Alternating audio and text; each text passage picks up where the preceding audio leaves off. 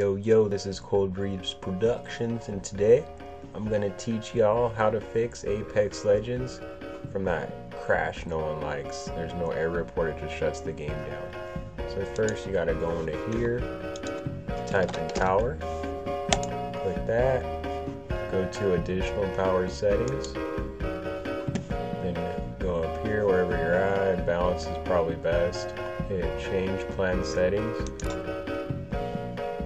go to change advanced power settings.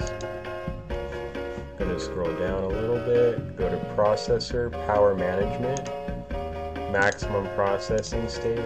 It's set to 100 by default. All we're gonna do is bring it down a little bit. 70 is probably good.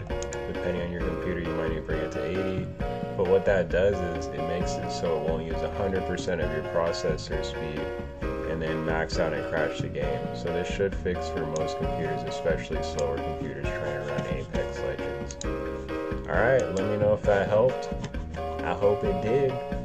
And let's have some fun out there. Let's get some kills.